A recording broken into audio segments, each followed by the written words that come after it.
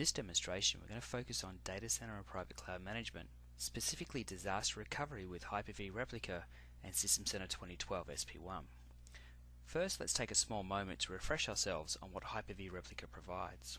In Windows Server 2012, we introduced Hyper-V Replica, a built-in feature that provides a synchronous replication of virtual machines for the purpose of business continuity and disaster recovery.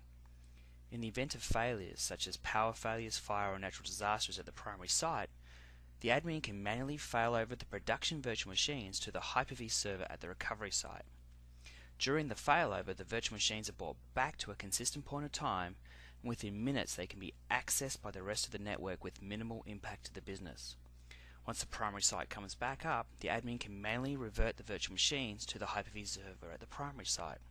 With System Center 2012 SP1, we enhance this with access to technologies such as Service Manager and Orchestrator to automate this through the use of PowerShell 3.0 and to automatically respond to site down or manually respond through Service Manager if I wanted to fail over an entire site, maybe due to a site upgrade or intended downtime. Now let's go see this in action.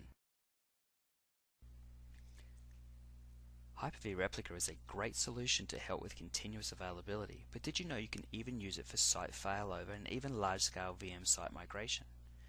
In this example, my primary site has just failed. Now I might have been notified through Operations Manager for this or through other mechanism. And then this may be a small number of servers or VMs or it may be thousands. It doesn't matter with Windows Server 2012 utilizing PowerShell 3.0 and the power of System Center 2012 SP1, including technologies such as Orchestrator, Service Manager, and Operations Manager, we can now fully automate this uh, as part of our solution. Now with System Center 2012, we're going to start the runbook for site failover to show how you could use PowerShell 3.0 and Orchestrator to fully um, automate this. I'm just going to click my Start Runbook button. The first thing, first thing it's going to ask me as part of this runbook is the destination host.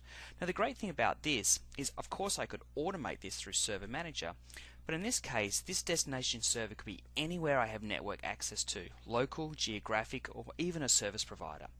And secondly, I add my um, source host uh, just to ensure um, through the runbook that this server is actually unavailable before I start the failover or migration. I'm going to select my available runbook servers and I might have multiple runbook servers um, to help with redundancy.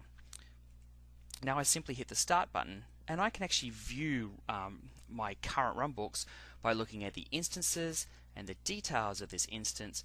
Let's make this a little bit smaller and you can see here that this runbook is starting to go that we've verified the source host, we've verified the destination host is actually down. You can see that it's getting the Hyper-V server status as we speak, and now it's starting to migrate the VMs. So effectively, utilizing PowerShell 3.0, it's initiated the Hyper-V replica failover to the destination server, letting the destination server know that it's about to go become the primary server.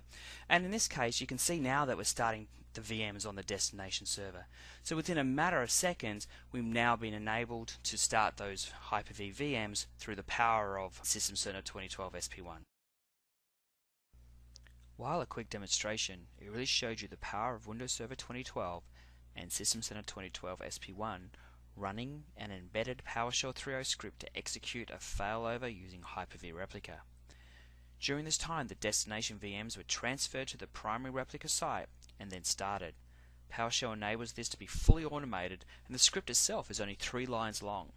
Partnered with the automation that Orchestrator provides, plus the ability to utilize Operations Manager and even Service Manager to respond to a site down incident, you have a powerful inbox solution to ensure your systems are highly available. Thank you.